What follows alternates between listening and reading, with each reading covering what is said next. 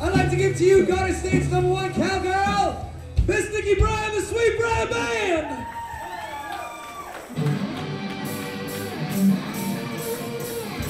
What's going on, New York? Woo!